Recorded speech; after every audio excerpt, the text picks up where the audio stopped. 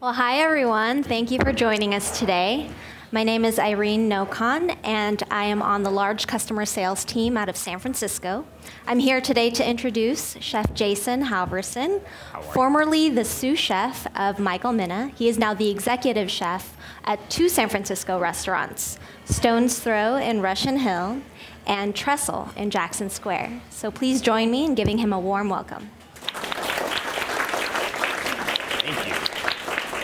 Thank you, thank you. Uh, welcome. Thank you for having us. Uh, super exciting. Um, we're gonna make a pasta dish. Uh, pasta really makes me happy. Um, it's a fun dish uh, that really just um, includes things that I like.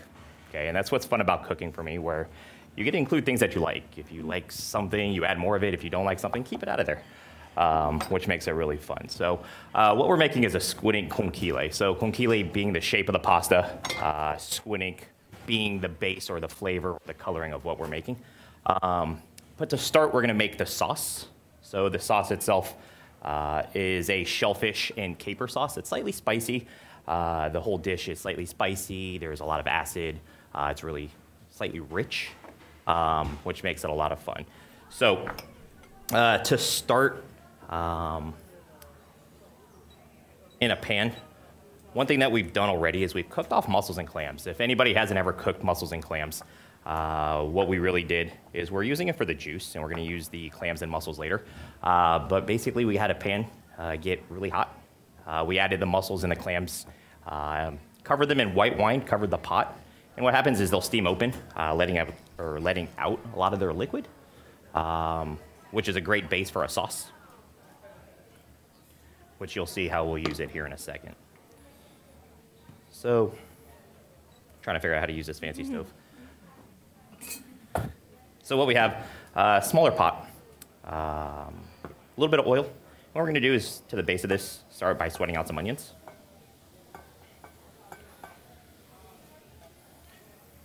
We're gonna try to make these translucent. Uh, you'll see, I guess in my style of cooking, onions are used as a base for a lot of things. Uh, it's just a great foundation. You'll get a lot of nice flavor out of this. I also like how they smell, which is weird. So we'll let that kind of start off. Um, other ingredients in the sauce itself um, are capers. Capers for me add a, a saltiness, which I really like, uh, without adding like just a handful or a big pinch of salt. It actually adds a flavor uh, which is, has its own, again, salinity. Uh, we'll have sliced garlic. Again, the spicy component to it uh, is uh, a piri piri chili. It's pretty spicy. It's a North African chili. Uh, this one happens to be dried. Um, if for any reason you can't find these, uh, the like a chili flake, again, is a great substitution. Um, what's fun again about this is if you're a fan of something spicy, go ahead, get crazy with it. Use a lot. Um, but if you're kind of timid about it, shy away. It's kind of making it what you want. So we're going to do is take, add some sliced garlic.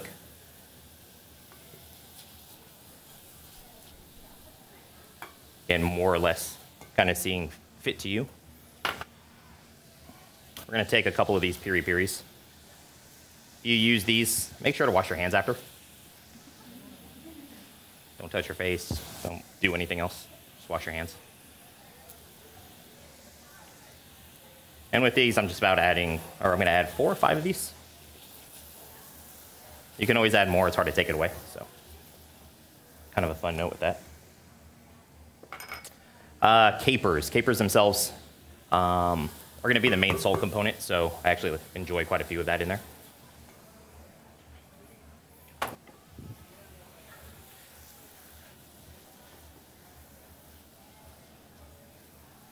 And pretty soon you should be able to start smelling this.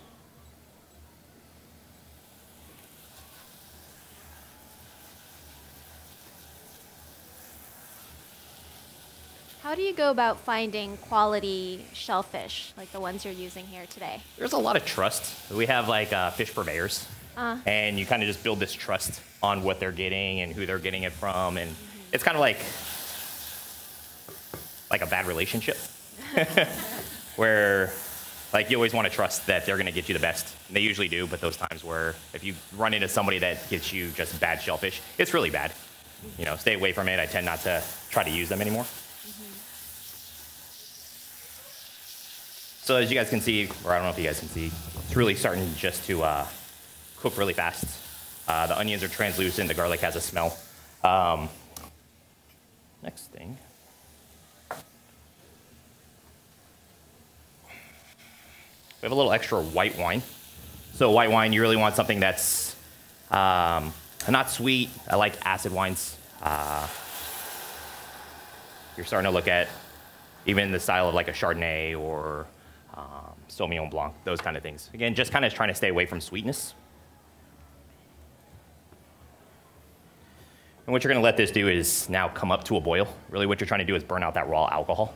Either that or you're going to get that flavor. You may get drunk, I don't know. Um, but the idea is just to burn out that alcohol. So that's up to a boil now. Uh, the last thing we're going to add to this sauce before we start on the rest of it, um, again, is all the liquor uh, from cooking the mussels and clams. Um, when you're cooking your mussels and clams, again, save the juice. It's really good. Uh, one thing you want to do is before you cook your shellfish, try to soak it in water or let them kind of purge out any extra sediment that's in there, or that you're going to end up with something really gritty. Uh, and after that, after we cook it, we also strain it again, just to make sure there's no grit. So I'll add that in.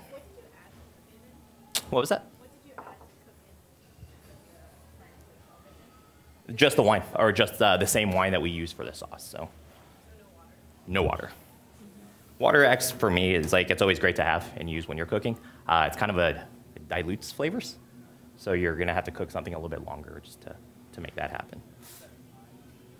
So again, literally, we're just gonna let this come up to uh, come up to a boil. We'll turn it down. You just really want to kind of let these flavors come together. It takes about 10, 15 minutes uh, in a batch about this size. So um, give it a taste. Make sure it's what you want. The next thing we're gonna make is uh, the pasta. So um, anybody ever made pasta? Anybody? Yeah, a lot of fun. I love making pasta. Um, the pasta we're gonna make, no eggs. Okay, so really kind of a, a hand rolled style pasta dough. Uh, what we have here um, in the bowl, two different flours. We have uh, double O flour and extra fancy durum. So the combination, what you'll see, just makes for a different texture of pasta. Uh, we like this one really dense because what happens when you cook it, uh, especially in the sauce, it starts to absorb the, or absorb the sauce, just kind of making things taste better. Um, with that, what we have here is a combination of water, just like we talked about, and uh, squid ink. Okay, squid ink. Not a lot of flavor necessarily in it. You're not going to necessarily get this super brininess, but uh, you definitely get this color, which kind of you associate with. So um, more so just going to add all these together. Is there a reason why you prefer to add the squid ink with the pasta versus in the sauce? I like, it's a great question. Um, first and foremost, when I'm eating it, I've had bad experiences where I eat it as a sauce, and then for some reason I smile and I have black teeth. Um, not so hot. Gets kind of weird. Uh, I look like I look like that guy, um, Yeah. which is no fun. Um, so it actually kind of helps tame the whole, I guess, identity of the squid ink. So I'm gonna kind of cheat here. Uh, we're gonna use the uh, KitchenAid. Um, is- we're gonna start with the paddle. I don't know if you guys can see it.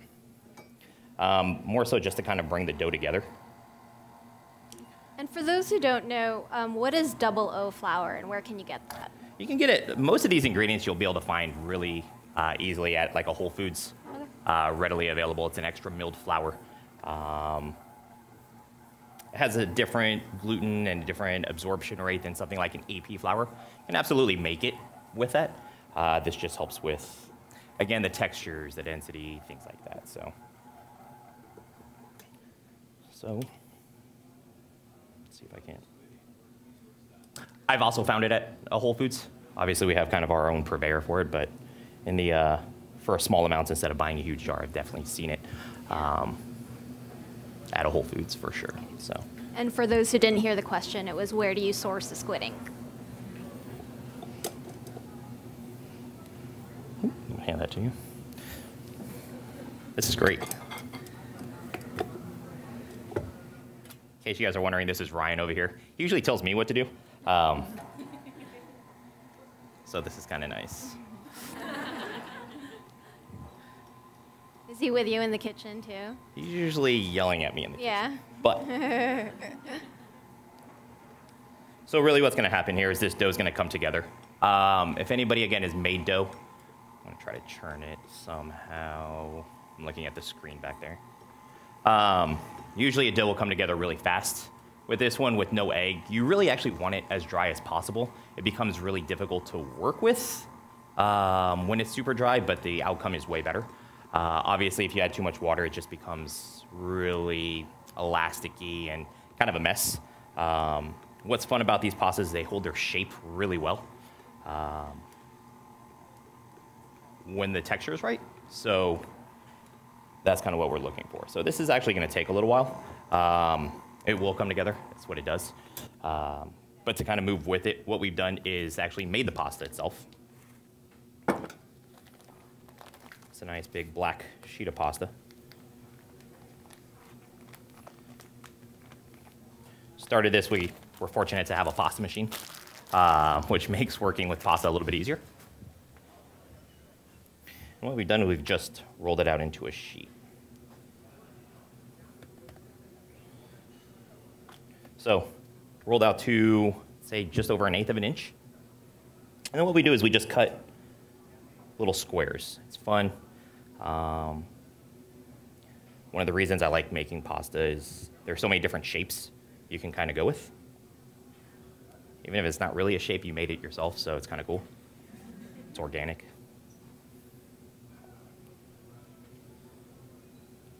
So just cutting into little squares.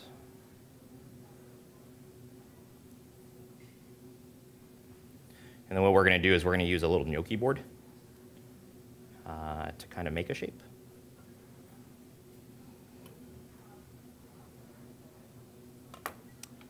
Which you can find at most places, Williams Sonoma, Sur La Table, Amazon, all those places, you can find them. Um, as you guys can tell, this one's been used just a little bit, makes a lot of pasta. Uh, you get a lot of ridge, you get ridges out of this, you can start to make shapes.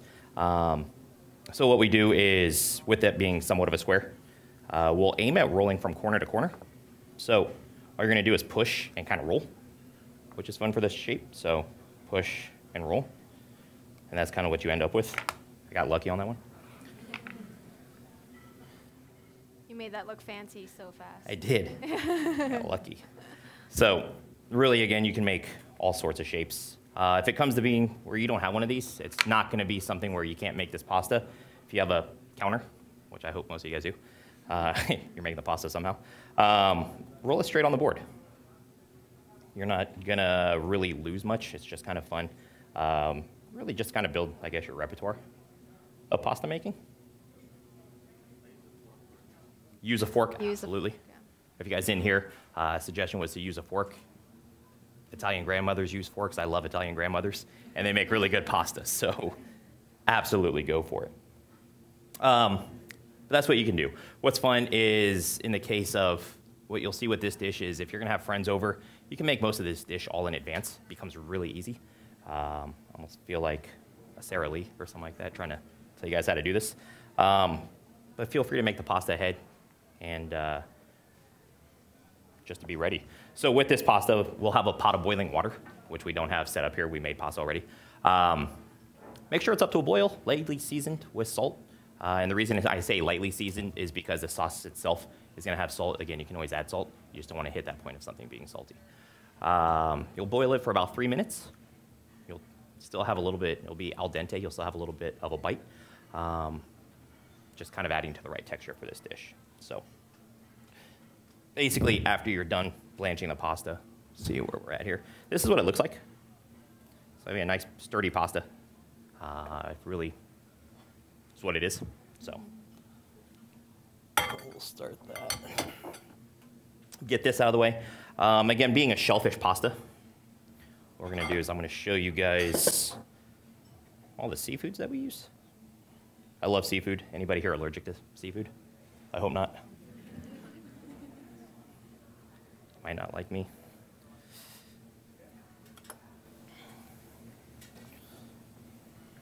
So, um, again, to start, mussels and clams. We cook them in white wine. This is exactly what we use for the sauce. Uh, Chef Didi back there actually did a great job of cooking the pasta or the uh, the shellfish. Thank you for doing that. Uh, appreciate it. So again, it's covered, or a hot pan, all the shellfish, white wine, it's covered. You're just gonna wait till they open. That's it. They're ready to go at that point. Um, after that, we separated it from the liquid, and all we're gonna do is take them out of the shell. If, they, uh, if they're not open, don't try to fight them open. If everything else is open, don't try to um, break them open to get it out. That's not necessarily a good sign of a, of a good shellfish. So that was the mussels. The clams, the exact same thing. Just kind of pulling these guys out.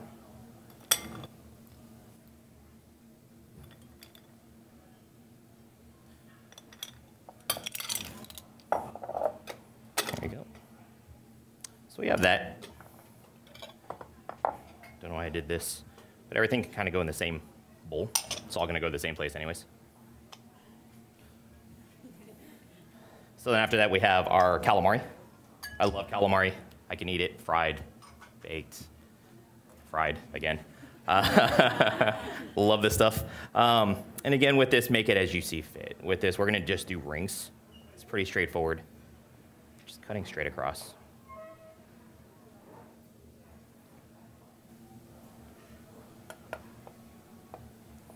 Nothing fancy with this. You can absolutely get fancy. Um, again, another way too, you don't have calamari, uh, calamari steak. You know what I mean? The, the, the possibilities are pretty endless.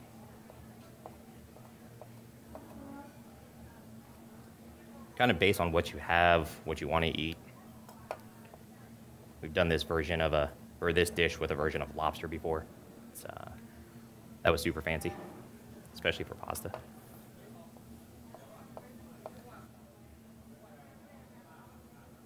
And we'll do one more. Just make, ooh, good. We usually do. Um, they're fun to throw in there.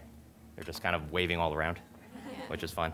But uh, just in this or in this instance, we don't happen to have them. So um, another one of my favorites, shrimp. I love shrimp. We won't even talk about fried or anything again. That's a given. Can I ask a question? Um, I'm just curious about your restaurants. So you've got a couple. Um, what's the difference? Ooh, Ryan, you want to take that one over? Sure. This perfect. Um, I don't know how many people have been up to the city or been to Stone's Throw. Stone's Throw was our first restaurant um, when we both were at Michael Mina in different situations and capacities. We decided to go open that. Um, think of it if you took a Michael Mina ty- style restaurant and plopped it into a neighborhood. Uh, a little more affordable, uh, not as complicated, a little more comfortable in the style of environment and service. Um, had that for about a year and a half and then decided to open a second restaurant. So Trestle has been open for maybe four months now. Um, completely shifted directions on that, and that is a prix fixe three course menu for $35. It's the only thing we offer um, where you get a choice between two items on each course. You can add a pasta course if you want for 10 bucks. Um, but similar style. I mean, his food has a, it's got a style. Uh, you will recognize if you come to one or the other restaurant, there is a stylistic similarity between the two. Stone's Throw affords us a little more complexity in dishes. We have more staff, we have more space, um, a larger menu, so we can do things that are a little more complicated. Also, the price difference helps when you charge $35. You're kind of a little restricted in what you can do. Um, but you'll see you'll see the same thought process behind the food, the service, the experience at both spots. And we're opening another restaurant at the end of the year. So we're staying busy. Yay. Exciting. Interesting question. Um, we're sharing. We're sharing. uh, Oh, the question is, what's the concept of the third restaurant? We're sharing high-level details. Um, yes. So it's uh, at the 100 Van Ness building, which used to be the old AAA headquarters. It's on the corner of Van Ness and Hayes, almost like right next to Van Ness and Market. Um, and we're doing two concepts in there. One is going to be a cafe and a sandwich shop. Um, so we're partnering with a coffee roaster from Los Angeles called La Mill, um, doing an interesting coffee program, tea program, and then kind of artisanal sandwiches. We've we've been running one of them on Uber Eats actually. Just recently, we do a chicken parm sandwich. Uh, that's pretty awesome. And then the other is going to be kind of a hybrid between fine dining and fast casual service. It's no reservations. Um, there's some interesting tech components we're trying to, to put into it. Um, and you should get the feel like you're at one of our restaurants, but without the same sequence of service in a two hour setting. Like you should be able to get in and out. You're in the theater area, you're next to a civic center. Um, so that's the general gist of where it's going. Probably in a few weeks, we'll announce a little bit more. I like your style. I remember reading that there was a sort of charity component to Stone's Throw that you were encouraging patrons to come and bring canned food in. Do you guys still do that? We do. So, are you ready to keep going with the dish? I don't want to Keep going. Here and look good. so yeah, so s- from kind of month two on when we started Stone's Throw, he and I got together and talked about it. We really wanted to do a charitable event or component, so we do what we call eat like a chef, drink like a som. So since February of 2014, every month we invite a guest chef to come in and we do a five course tasting menu the last Monday of every month. Uh, we do half the menu, they do half the menu. Um, and all the proceeds go to a charity. We pick one charity per year. So last year was the food bank. Uh, this year we chose Ronnie Lott's All Stars Helping Kids. And then we kind of evolved from there with Ronnie Lott being on board, hoping most of you know who Ronnie Lott is Hall of Fame 49er, Super Bowl hero, etc. Yeah, for sure. Cut off a finger in a game Funny. to win a Super Bowl, etc. Um, he, we've kind of introduced athletes into the mix. So we had last month was Boulevard was the guest restaurant, Joe Montana was the guest athlete, and the idea behind the event is it's designed for people like us. It's younger professionals who don't want to go to a gala dinner, who don't want to spend $500 a plate. And the idea was we can teach the next generation how to give back by saying you can come for $60 a person, have a five course dinner, whereas if you go anywhere else in San Francisco for dinner, like I did last night, you'll spend way more than $60. Um, and here all the money goes to the charity. So the year to date, this year we've already donated $30,000 just from doing eight events or nine events for it, and we have two more upcoming. So if you're looking for an interesting event, this month is Kim Alter from uh, Daniel Patterson's group, Plum Haven. She's opening a new project on her own. And then Michael Mina is actually doing uh, the one in November to finish up the year for us. Great, thank you. Super exciting. It's a lot of fun. so, um, back into the dish. Right now, like we've gotten to the point where like we're, ba- we're basically ready to assemble the whole thing. If you were going to do this for a party, you're ready to go. Uh, you're ready to cook for your friends uh, without sweating a lot, which is nice. Um, and I'll kind of just bring it all back together just to make sure that we're all there. So, trying to make sure is this the right place? So again, we've made the sauce. We have pasta. It's blanched. It's ready to go. Um, all the shellfishes that we want, love, ready to eat. Uh, the same piri piris. We're just going to kind of refortify that flavor. The more sliced garlic, and you, know, you guys are going to see what we're going to do with that here in a second. Um, touch of butter and lemon juice. Lemon juice uh, is going to kind of just clean the whole dish up. You guys will see it here in a second. Um, and then the last one, which we didn't really get to, uh, for me, uh, pasta dishes can become extremely like heavy, uh, very kind of mundane to eat, I guess. So one of the things that I really love is kind of a more fresh component. Um, so with here, or what we have here, is what's called peacock kale. Uh, we took out the stems, kind of made small little bites out of it. What it does is it lightly wilts. Obviously, with the greens, you guys usually want to cook them down and maybe braise them, however so. Um, this is light enough, or it's sturdy enough to where it won't just kind of break apart and or become like a mess. Uh, but it's also um, light enough to where it's like if you lightly wilt it, give it just a little bit of heat, um, it's really like pleasurable to eat. Uh, it also holds like sauces and things like that really well. So. Um, hot pan is what we have here. Gonna add just a touch of oil. A lot of people are actually afraid to cook like with oil, not in the sense of like afraid I'm not gonna use oil, but usually the problem with cooking at home is people don't use like enough. Not that you need to fill the whole bottom, but it definitely helps in the cooking process. So hopefully I'm using this right. So with the pan more so on the uh, the higher side of heat, sliced garlic. Okay, has this nice sound, you know you're doing something right. And what we're gonna do is not quite, we're not gonna burn it, but we're gonna toast it. And what that does is it's gonna add this kind of really distinct flavor. Um, That's really kind of just distinct, especially to this dish for us. And for me, that's kind of like the way I like to cook. You try to, to layer a lot of flavors, be it what's salty, what's sweet in the dish, um, what's the richness, you know, what's the acid component. It's almost like formula cooking, but it's just the idea of how do you balance out a dish. So as you guys can see, it's really starting just to get brown now. We're gonna go just a little bit longer. It's just kind of the point where you don't wanna necessarily walk away from it. Do you have any go-to ingredients to elevate a dish's flavor? Like your favorite? My favorite, like literally, honestly, onions, as dumb as that sounds, actually add a layer of flavor. Um, that's kind of just the most apparent. That and shallots. Um, and then I'm a huge spice freak, not in the sense of things being spicy, but just spices and spice blends and things like that. So what we've done is we've added the shellfish or all the, the seafood. We're gonna add in a couple of our chilies. Again, more so however you want it to taste. Again, you want it spicy, get crazy. Kind of breaking them in here.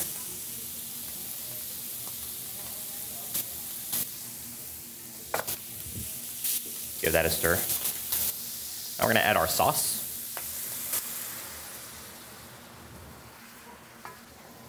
Giving myself a little steam bath.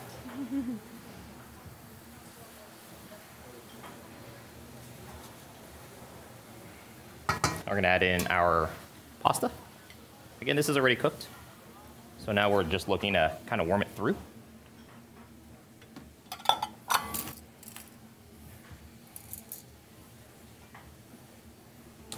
We're gonna add just, Just everybody close their eyes for two seconds. Just a- Just a touch of butter. I'll save one in there. You guys didn't close your eyes. Why do you add it at the end like that? So what you're gonna try to do, butter is fat. Fat emulsifies. So what we're trying to do is make this like a rich kind of glazy pasta, um, which helps with the addition. That's the sequence of steps with it kind of helps make its own sauce, as opposed to having a big pot of like this creamy sauce. Uh, you're kind of just making the sauce in itself or in the pan. They're adding chilies back there. It's going to hit you guys here in a few seconds. So if this side starts coughing, you guys are safe. I promise. if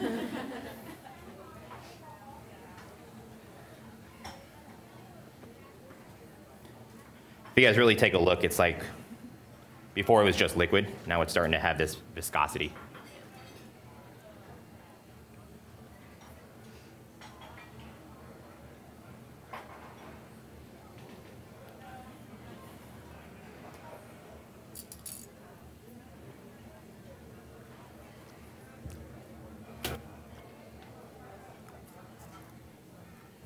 One more chili.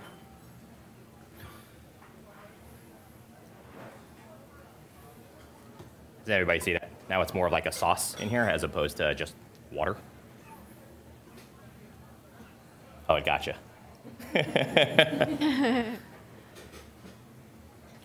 Pinch of salt. Taste your food. Make sure it's what you like.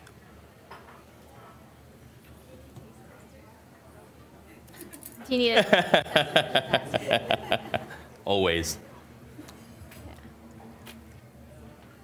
It's gonna be good. so the last two things to go in, to the point where we're almost there, are gonna be the greens and not the cooking oil, lemon juice.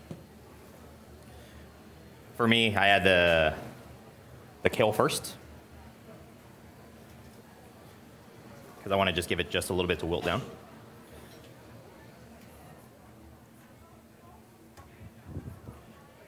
With the kale being raw, I've already tasted it. I know I just want to touch more salt because of what the flavor of this is.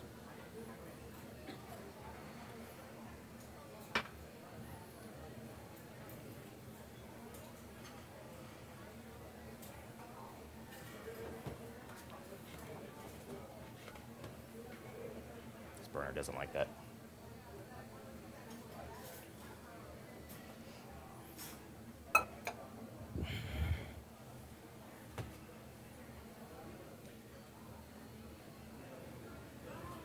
As you guys can notice, again, that's starting just to break down itself.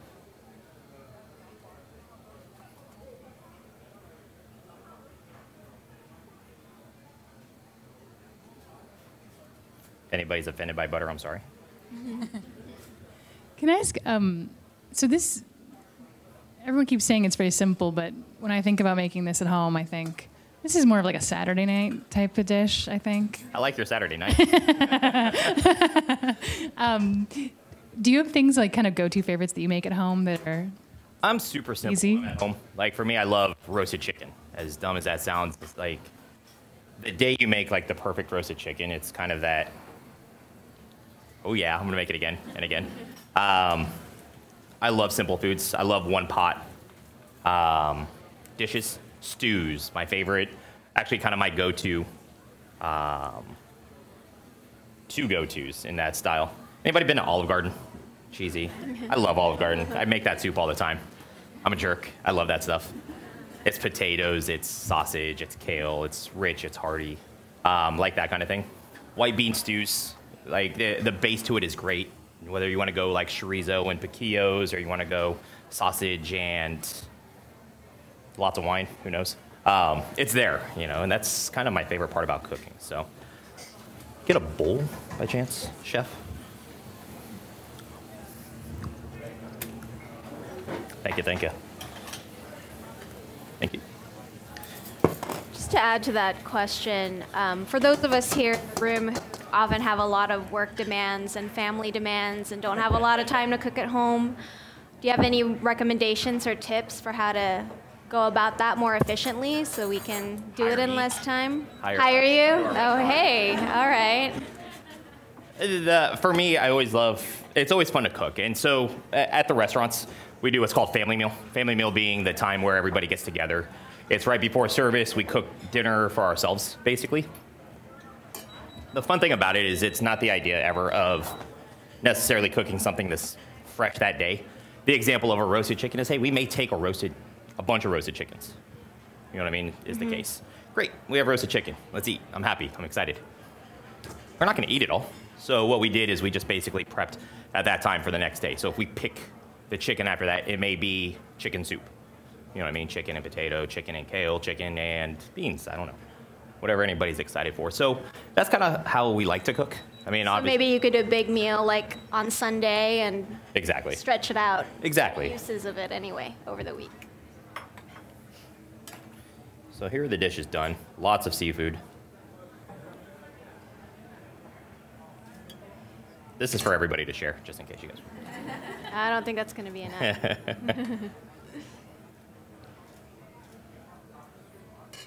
But that right there is just a fun bowl of pasta.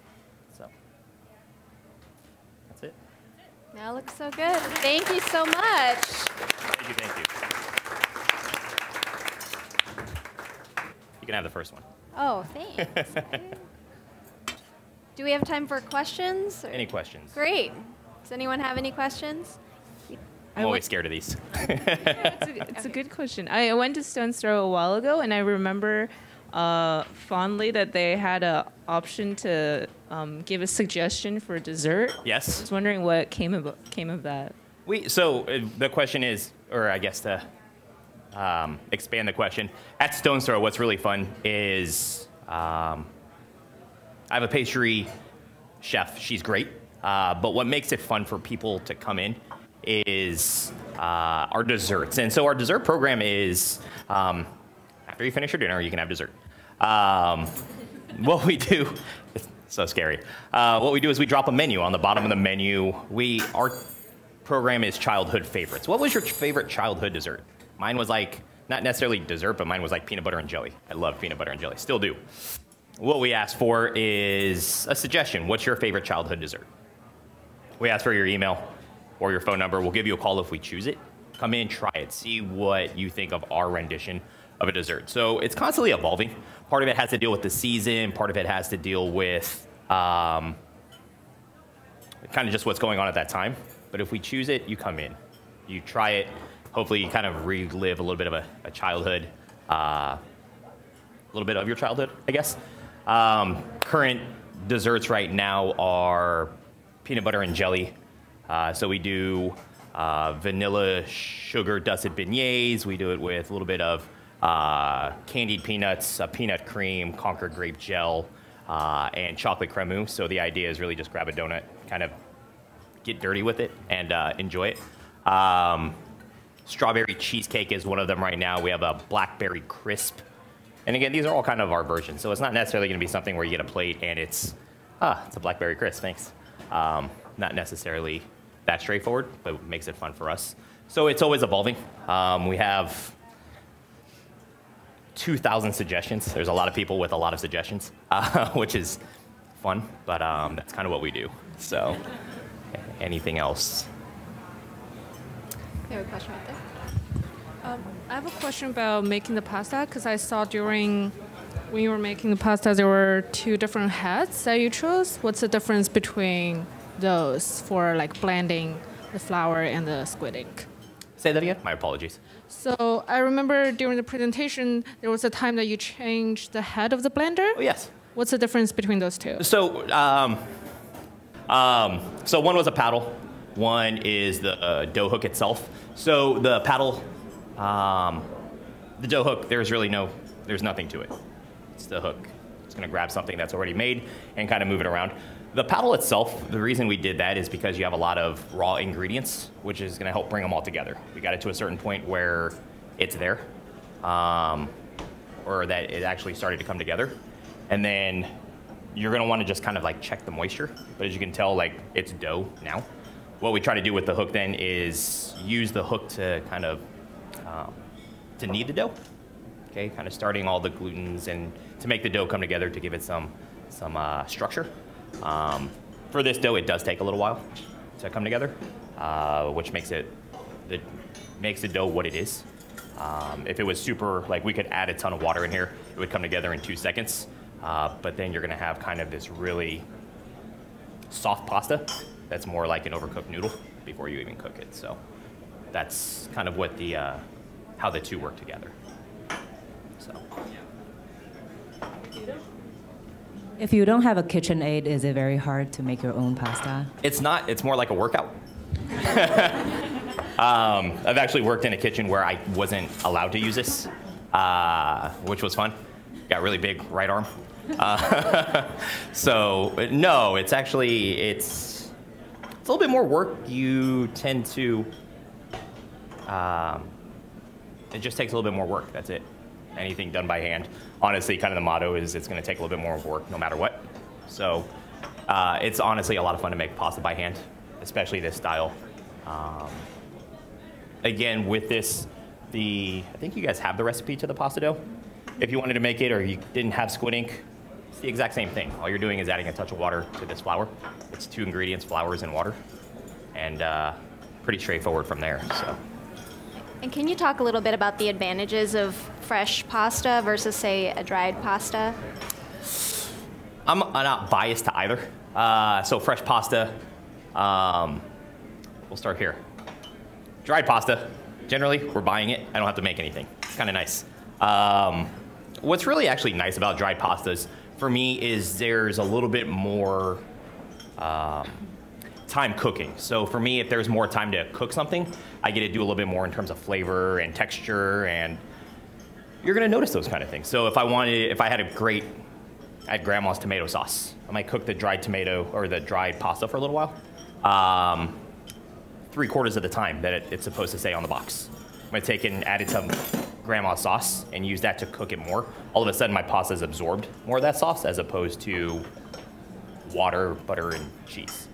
So that's kind of one huge aspect. With uh, fresh pastas, you can manipulate it more so in the style of what it is. Uh, sheets, raviolis, things like that. You can't really do that with a dried pasta.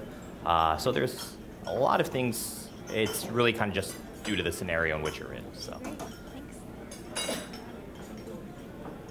I guess going off with that question, so uh, there are f- so-called fresh pastas from stores or grocery stores. Like, what's the difference between those fresh pastas versus uh, if we make them at home? One costs you $6.99 and the other one costs you nothing. They, it's the same process. They're really just doing it in the industrial size. Uh, honestly, they, there's some great products out there. People that are making stuff. Yeah, what's fun, I think nowadays, there's kind of the market for people wanting the example to cook a great meal. You know what I mean? They don't have the capacity necessarily to necessarily make everything from scratch themselves. And so you have this market that people are putting their heart into a product for you. So you like to do that, take advantage of that, have a good time. It makes cooking a little bit more fun and uh, touch more desirable when you're not having to stress about everything. Like, hey, if I go buy a fresh sheet of pasta and I want to make raviolis, all the power to you. Have fun with it, you know? So, that's it. Great. Well, thank you again, Chef Jason Halverson, for joining us. Um, hope to see you again here Absolutely. at Google. Thanks for having us. Thank you.